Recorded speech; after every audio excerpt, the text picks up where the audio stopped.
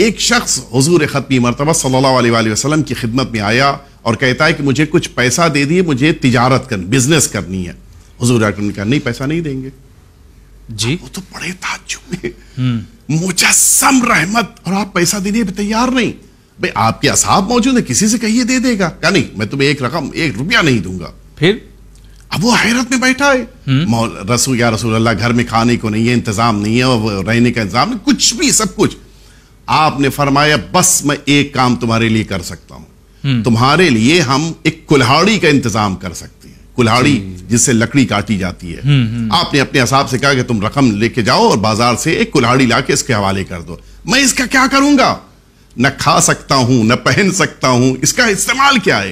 का इस कुल्हाड़ी को लो जंगल में जाओ लकड़ियाँ काटो वापस लेके आओ बेचो और इस बेचने के ज़रिए से जो रकम हासिल है उसको घर लेकर जाना और बच्चों को वो रिस्क खिलाना। सुबहान अल्लाह मांगने की बिना पर नहीं बल्कि तुम मेहनत और पसीना बहाने के बाद जो रकम हासिल होगी उससे अपने बच्चों का पेट पालोगे वाह। वो तो अभी तक नहीं मुतवज्जे हुआ था। उसने कहा ठीक है बड़ी बेदिली के साथ उठा गया जंगल में जाके लकड़ियाँ लेके आया। उस जमाने में ज़ाहिर है इन लकड़ियों का बहुत सारे कामों में इस्तेमाल होता था। मसलन आग जलाने में भी इस्तेमाल था जो आज के दौर में नहीं है तकरीबन। उस जमाने में बिस्तर वगैरह बेड बनाने के लिए भी इस्तेमाल होता था कुर्सी के लिए बहुत सारे इस्तेमाल घर बनाने में घर तो बनाने में इस्तेमाल होता था। ये लेके गया आया इसने लकड़ी बेची और पहले दिन उसको फ़ायदा हुआ। ज़ाहिर है कि बिल्कुल फ्री में पैसा मिल गया। हाँ, और कुछ लगाया नहीं था और पैसा मिल गया। दूसरे दिन तीसरे दिन एक महीना दो महीना एक दिन वो उस मदीने का बेहतरीन और बड़ा ताजिर बन के रसूलुल्लाह से मिलने के लिए आया। वाह। और अब रिसालत माब ने पूछा बताओ वो दिन जब तुम मुझसे मांगने आए थे वो दिन बेहतर था? या आज जब तुम शहर के ताजिर बन के आए हो तो वो दिन बेहतर है? उसने कहा, "या रसूल अल्लाह, आज का दिन यकीनन बेहतर है। कहा अगर मैं तुम्हें एक वक्त की रोटी के लिए पैसा दे देता क्या नतीजा होता? एक वक्त खाने के बाद फिर दूसरे वक्त तुम मोहताज बैठे होते।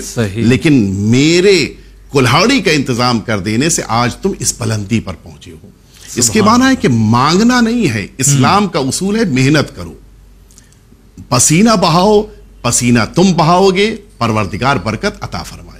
यानी यहीं से एक ये भी पैगाम आपके ज़रिए पहुँच रहा होगा हमारे नादरीन को कि अगर आप ख़ानदान में साहिब हैसियत हैं तो कोई मांगने आए तो आप उसको बिज़नेस बताइए काम जी बताइए। जी उसको गाइड कीजिए उसको तरीका बताइए कि तुम्हें कैसे आगे बढ़ना नहीं कि एक वक्त खाने का इंतज़ाम कर देना।